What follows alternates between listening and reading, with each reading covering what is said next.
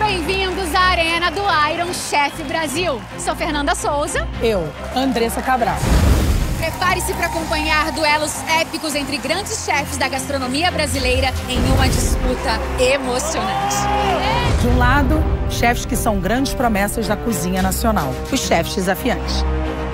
Do outro lado, mestres consagrados que conquistaram o mundo com suas formas únicas de cozinhar, os Iron Chefs. Para decidir quem vence cada disputa, nós temos uma dupla de jurados que são autoridades no mundo da gastronomia. Rosa Moraes e Lohan Suodô. A cada episódio, eles recebem uma visita especial para ajudar a definir quem fica com a vitória.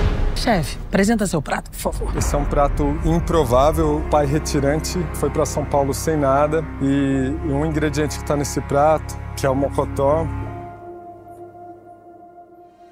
ele, ele mudou a história da nossa família. E, e escolher cozinhar caldo de mocotó, que foi o primeiro prato e por muito tempo o único prato, não foi uma opção.